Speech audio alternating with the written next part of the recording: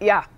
Beto O'Rourke, he has unveiled this proposal to limit Mm-hmm. the terms of Supreme Court justices. Currently, justice must pass away or be willing to step aside before they're actually replaced on the bench. And so O'Rourke thinks one 18 year term should Mm-hmm. be enough. And he's also pushing limits for members of Congress. Is this a winning argument? You know, it's an it's a term limits for Congress is is something we've heard about for a long time.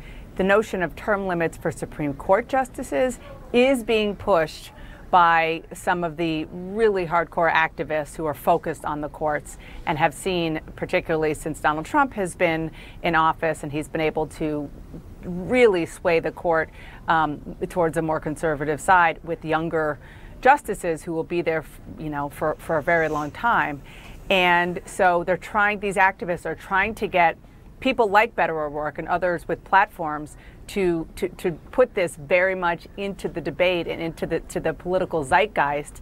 And Beto O'Rourke bit. And you know what? It's very much related to the abortion debate, obviously, because this is all about these states pushing uh, from, from Georgia to, to, to Alabama, pushing um, through court cases that they hope will get to the Supreme Court that will ultimately overturn Roe versus Wade. And the concern is that because you have the court stacked by a conservative president for a, a generation or two, possibly, they want to talk about that changing. Yeah.